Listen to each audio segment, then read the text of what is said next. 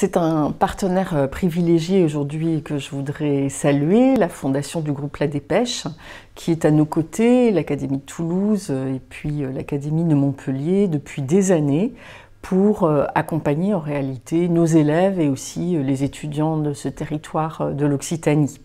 La fondation du groupe La Dépêche est notre partenaire pour euh, les bourses actives qui bénéficient à des étudiants, à des néo-bacheliers qui sont accompagnés lorsqu'ils sont méritants et qu'ils ont des besoins.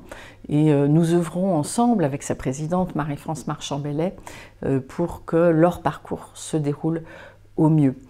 partenariat aussi pour les métiers, information sur les métiers, sur les débouchés qui leur sont offerts, en particulier dans le territoire de l'Occitanie.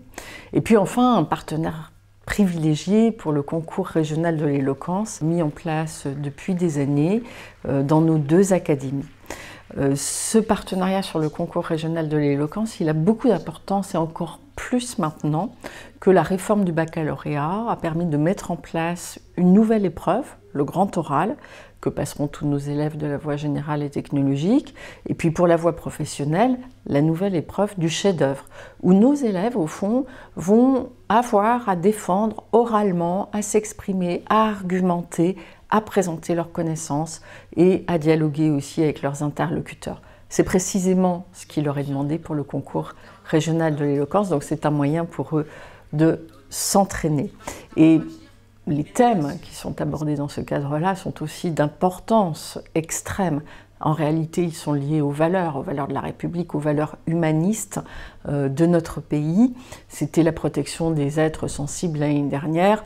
Ce sera euh, pour la session 2022 la fraternité, une valeur à laquelle nos élèves sont particulièrement Alors pour cette session 2022, euh, de bonnes nouvelles, nous avons beaucoup plus de candidats, euh, j'en suis très heureuse.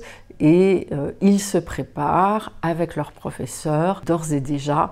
Et puis enfin, je voudrais féliciter tous les candidats de la session 2021, féliciter les les lauréats, euh, remercier leurs professeurs qui les ont accompagnés, remercier l'ensemble des membres du jury. C'est un jury très sérieux qui accompagne nos élèves.